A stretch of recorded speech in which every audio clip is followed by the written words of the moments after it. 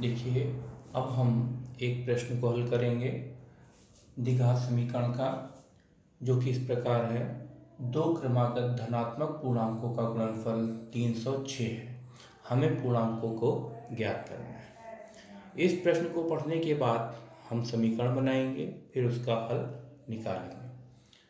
जैसा कि इसमें लिखा है, दो क्रमागत धनात्मक पूर्णांक। तो आपको मालूम है, धनात्मक पूर्णांक जो होते हैं one, two, three, four, five, six, seven, eight, nine, ten, and so on.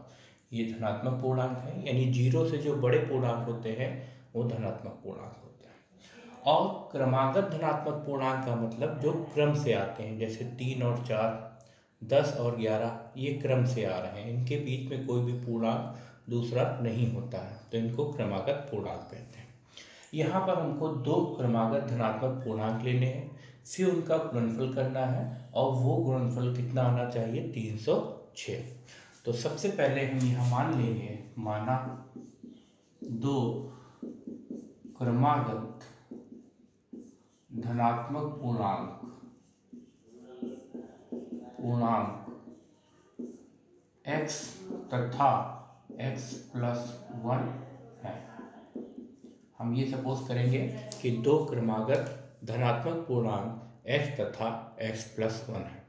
अब प्रश्नानुसार जैसा प्रश्न में कह रहे हैं कि दोनों क्रमागत धनात्मक पूर्णांक का जो गुणनफल है, वो 306 है।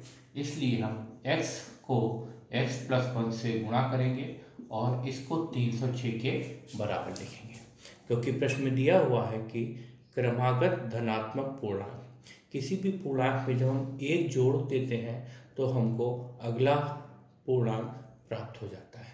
अगर पहला पूर्णांक आप x सपोज़ कर रहे हैं तो x में एक जोड़ने पर उसके बाद वाला पूर्णांक मिल जाएगा। यानी x तथा x प्लस वन दोनों ही क्रमागत धनात्मक पूर्णांक हैं। अब प्रश्न में दिया हुआ है, दो क्रमागत धनात्मक पूर्णांकों का जो गुणनफल है, वो 306 है। इसलिए हमने x और x प्लस वन को गुणा कर दिया और इसको 306 के बराबर कर दिया। ये दोनों क्रमागत धनात्मक पूर्णांक हैं, इसलिए इनका गुणनफल 306 होगा। अब हम x की गुणा x प्लस वन से करेंगे। इसके लिए पहले हम x को x से गुणा करेंगे, फिर प्लस x को वन से गुणा करेंगे। जब आप x को x से गुणा करते हैं तो ये एक्स स्क्वायर आता है। फिर x को वन से गुणा करने पर x आएगा बराबर तीन सौ छः अब इस तीन सौ छः को आप लेफ़्ट हैंड साइड में पच्छांतरण करेंगे। इसका पहले चिन्ह जो है वो प्लस है। जब इसको लेफ़्ट हैंड साइड में लाएँगे तो इसका चिन्ह बदल जाएगा। वो चिन्ह हो जाएगा x square plus x minus तीन सौ छः बराबर ज़ीरो। आप ध्यान से देख सकते हैं कि यह समीकरण a x square plus b x plus c बराबर ज़ीरो के रूप में है, जहाँ एक्स स्क्वायर का गुणांक वन है, जो कि शून्य के बराबर नहीं है। इसलिए यह समीकरण द्विघात समीकरण है। द्विघात समीकरण को हल करने के लिए तीन विधियाँ आपको बताई जा चुकी हैं। इसमें पहली विधि गुणनखंड विधि है, दूसरी विधि पूर्ण वर्ग बनाकर है और तीसरी विधि श्रीधाचार्य सूत्र है। आप तीनों में से किसी को भी लगाकर इसका हल निकाल सकते हैं। जैसा कि आपको पता है कि अगर गुणखंड हम करते हैं तो एक्स स्क्वायर का जो गुणांक वन और अचर पद तीन सौ छः को हम गुणा करेंगे। यहाँ पर वन और तीन सौ छः को गुणा करने पर तीन सौ छः आएगा। गुणनखंड करने के लिए सबसे पहले आपको एक्स स्क्वायर का जो गुणांक है और अचर पद है, इसको आपस में गुणा कर लेना है। जैसा कि हम देख सकते हैं कि एक्स स्क्वायर का गुणांक यहाँ वन है और अचर पद तीन सौ छः है, इसको गुणा करेंगे तो तीन सौ छः आएगा। अब तीन सौ छः के आप अभाज्य गुणनखंड करेंगे, यानी ये हो जाएगा दो से भाग देंगे, दो कम दो हाथ से लगा एक एक, ज़ीरो, दस हुआ, दो पंजे दस, दो तीन छः अब ये तीन से कटेगा, तीन एक में जाएगा नहीं, पाँच लेंगे पंद्रह, तीन पचे पंद्रह, तीन एकम तीन। फिर तीन से कटेगा, तीन एकम तीन हाथ से लगा दो दो और एक इक्कीस हो जाएगा, तीन सत्ते इक्कीस, फिर सत्रह एकम सत्रह। यानी तीन सौ छः के गुणनखंड होंगे दो इंटू तीन इंटू तीन इंटू सत्रह। अब आपको इसको इस तरीके से व्यवस्थित करना है कि तीन सौ छः के पहले माइनस का चिन्ह है, यानी घटाने पर एस का गुणांक आना चाहिए और गुणा करने पर तीन सौ छः आना चाहिए। तो यहाँ पर आप देख सकते हैं एस का गुणांक वन है। इसलिए अगर हम दो गुणे तीन गुणे तीन को देखें तो दो तीन छः त्रिक अट्ठारह हो जाता है और ये सत्रह है। अगर अट्ठारह में से सत्रह को आप घटाएँगे तो एस का गुणांक वन मिल जाएगा। और अट्ठारह सत्रह को गुणा करने पर जो अचर पद है वो तीन सौ छः प्राप्त होगा। इसलिए आप एक्स स्क्वायर प्लस इसमें एक्स का गुणांक को आप वन लिख सकते हैं समझने के लिए कि वन को किसी भी संख्या में गुणा करते हैं तो वही संख्या आती है तो वन को एक्स में गुणा करने पर एक्स आएगा, इसलिए हम एक्स के स्थान पर वन टू एक्स लिख सकते हैं। अब इस वन के स्थान पर अट्ठारह माइनस सत्रह लिखेंगे, क्योंकि अट्ठारह में से सत्रह घटाने पर वन आता है। तो यहाँ पर हो जाएगा एक्स स्क्वायर प्लस अट्ठारह माइनस सत्रह गुणे एक्स माइनस तीन सौ छः बराबर ज़ीरो अब आप इस ब्रैकेट को ध्यान से देखें। तीन सौ छः के पहले जो माइनस चिन्ह था, वही इस ब्रैकेट में भी है। यानी आपका गुणखंड सही है। दूसरा अट्ठारह में से सत्रह घटाएँगे तो एक आएगा और एक एक्स का गुणांक है, इसलिए गुणखंड सही है। अट्ठारह और सत्रह को जब आप गुणा करेंगे तो तीन सौ छः आएगा, इसलिए आपको ये गुणखंड सही है। तो ये तीनों बातें आपको ध्यान से गुणनखंड करते समय ज़रूर देखनी है।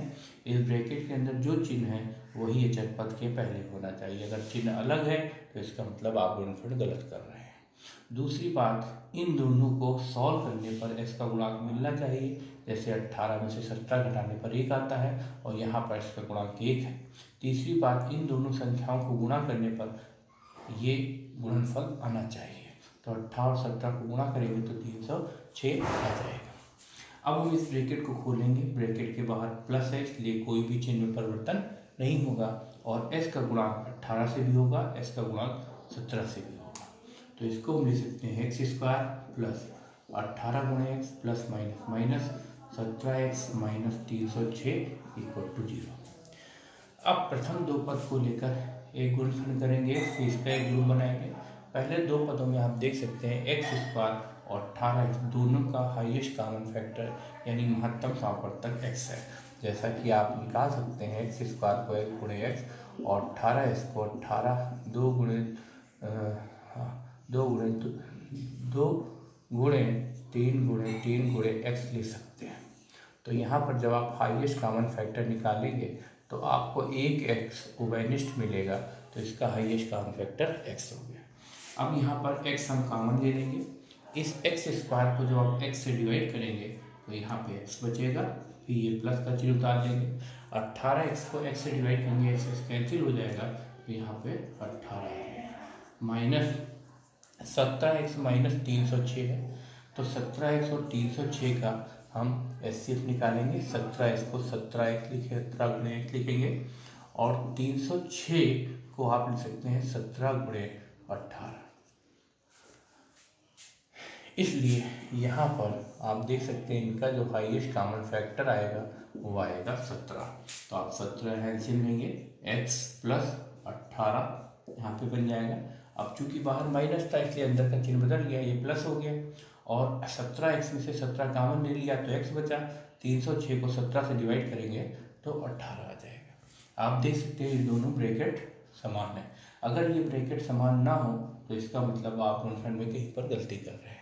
तो अब x प्लस अट्ठारह को आप कॉमन लेंगे तो ये आ जाएगा x माइनस सत्रह बराबर ज़ीरो अब देखिए इन दोनों गुणनफंडों का गुणनफल ज़ीरो है, अर्थात या तो x प्लस अट्ठारह ज़ीरो के बराबर होगा, या x माइनस सत्रह ज़ीरो के बराबर होगा, तभी इन दोनों का गुणनफल ज़ीरो हो सकता है।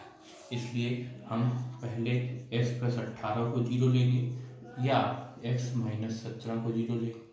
यदि x प्लस अट्ठारह को जोड़ लेंगे तो अट्ठारह को जब राइट हैंड साइड ले आएँगे तो माइनस का अट्ठारह हो जाएगा और सत्रह को राइट हैंड साइड लेंगे तो प्लस का सत्रह हो जाएगा। अब आप देख सकते हैं, प्रश्न में इन्होंने कहा था, धनात्मक पूर्णांक।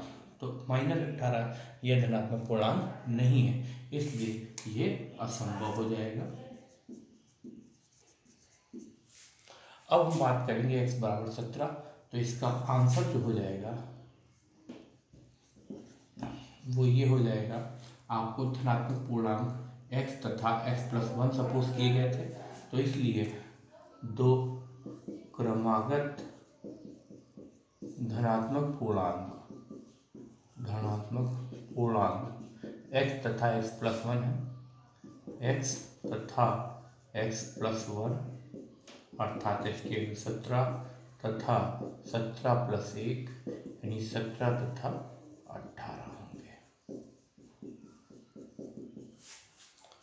धन्यवाद